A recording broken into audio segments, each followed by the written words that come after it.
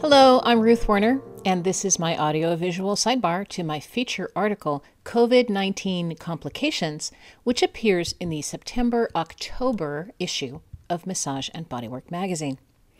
In the article, I run through some of the complications of infection with SARS-CoV-2 that are most likely to impact decisions about massage therapy, at least as we understand in early summer 2020.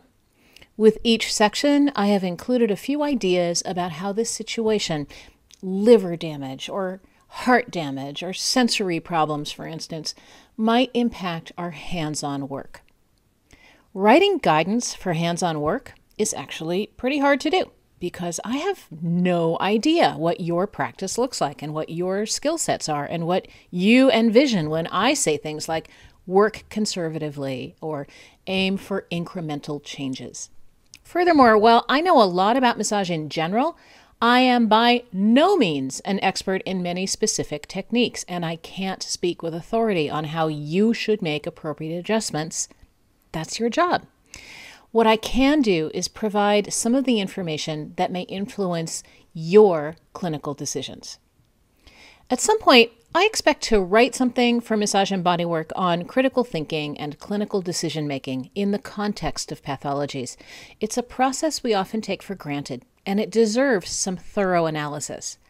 But in the short run, I would like to offer eight key questions that are appropriate for clients who have been through a COVID 19 infection so that we have the information we need to make appropriate adjustments, especially for those people whose recovery process has been complex.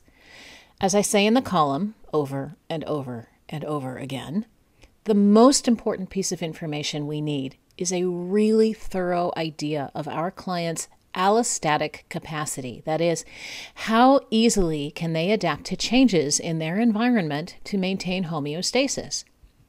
If it feels painful or scary for them to exercise, that's an important piece of information. Their allostatic capacity may be limited. If they're back to pre infection levels of physical activity with no repercussions, that's useful to know too. All of this gives us some sense of where to start as they begin to incorporate massage therapy back into their lives. Another repeating theme from the article is an emphasis on gentle work that slowly progresses toward pre infection levels of intensity and this work must always be done within the physical demands of our clients' activities of daily living. What does gentle work mean? Well, to me, it means the most difficult kind of massage there is to give light pressure with total presence. Think Walton scale 1 to 2 if that's familiar to not or if that's familiar to you and if not, think about gentle holding and the pressure of applying lotion. It's not time to use our elbows. It is not even time to use pointy thumbs. Because COVID 19 can lead to superficial and deep blood vessel damage, it is vital that we not risk disrupting or overwhelming a system that is already challenged. We really want to be focusing on soothing a jangled nervous system, not on forcing a lot of fluid flow.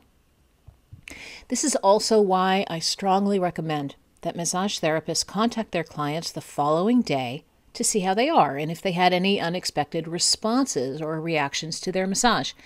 These reactions could be really positive, like they slept great or they woke up without back pain for the first time since March.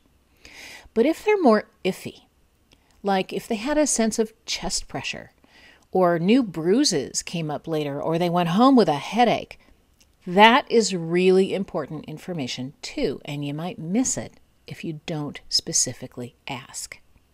So, what kinds of questions do we need to ask our clients who have been through a bout with COVID 19? Here is my short list for your consideration. These would be in addition to our regular intake questions, of course. Number one, what does your doctor say about your risk of communicability? We know that a lot of people may have had COVID 19 and never gotten an official diagnosis. If your client has been cleared to come out of isolation and return to work or school, then theoretically at least, they should not be capable of spreading the infection. But if they haven't been cleared, then for your sake and theirs, you need to delay your session.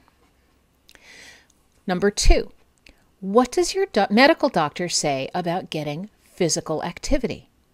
If a patient is advised to return to normal activity levels as soon as possible, massage is more likely to be safe. But if a person has had significant lung or cardiovascular or kidney damage, they may be on a rehabilitation program that limits their physical activity. If this is the case, the intensity of massage therapy must also be scaled back. Question three What do you do in terms of physical activity? We need a clear sense of what kinds of physical challenges people put their bodies through on a daily basis. One person might be mainly sedentary, but they can take a hot shower each morning. Someone else might walk a few times a week, and another client might be training for an event, even after a severe infection. Within these questions, we must dig out the most specific information we can find. Walking a mile might mean a leisurely stroll on a smooth sidewalk, or it might mean a quick jaunt up a hill that raises the heart rate. And that makes a difference in our client's ability to adapt to environmental challenges. Further, many COVID 19 survivors have widely varying and unpredictable levels of fatigue and loss of energy, and we must not risk overwhelming someone's physical capacity with overenthusiastic massage.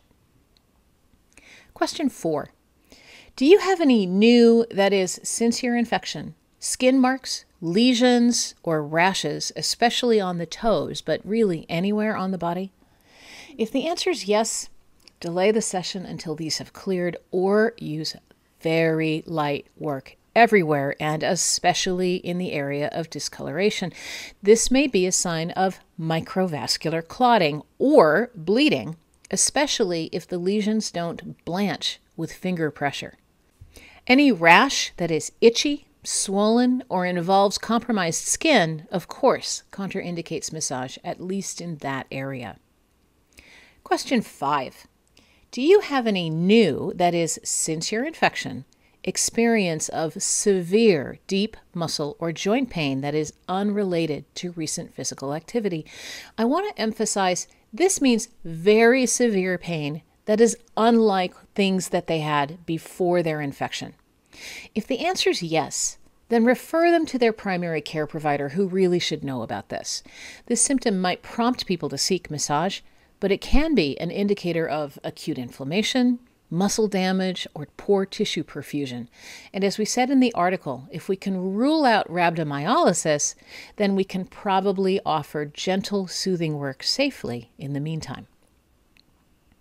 Question six Do you have any new, that is, since your infection, discomfort with exertion? Watch out, especially for reports of chest pain, shortness of breath, dizziness, headache, cramping in a new pattern, or new pain in the legs? If the answer to this is yes, refer them to their primary care provider because it may be a sign of cardiovascular or respiratory distress. Question number seven Are you taking any drugs to manage blood clotting? If the answer is yes, delay massage until this is finished or use our super light work because of the risk of blood clotting and bruising. And question number eight What other long term consequences of your infection now affect your life? This could include all kinds of things that might impact choices about massage. Relapsing symptoms might happen, or kidney dysfunction, gut pain, headaches, heart problems, debilitating fatigue, seizures, PTSD, or delirium related to the trauma of surviving a life threatening infection, or things we haven't even thought of yet. Decisions about body work must be made with these complications in mind, so you might want to have a decent pathology reference at hand. All of these questions and the decision points and rationales are available for anyone at my blog post here at abmp.com. This list of questions must continue to evolve as we learn more about short term and long term challenges that people who have lived through COVID 19 may face. This is just a starting place and I hope it is helpful. Thank you.